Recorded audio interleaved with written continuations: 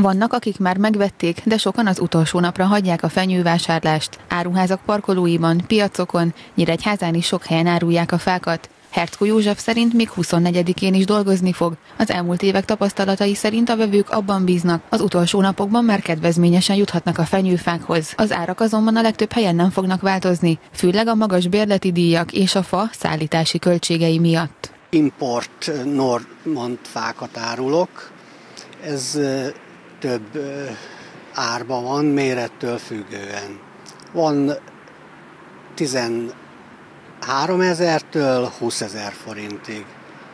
A 13 ezer forintos az 1,92-40 között, a 20 ezer forintos pedig 3 méter magasság körülbelül.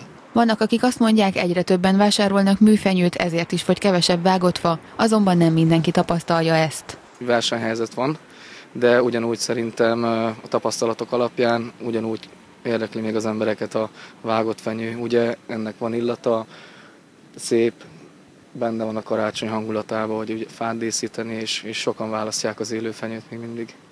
Lutz fenyőt 2400, ezüst fenyőt 4900, Nordman fenyőt pedig 5900 forinttól lehet vásárolni. Valaki az illata alapján választ fát, amíg másnak az az elsődleges, hogy tartós legyen.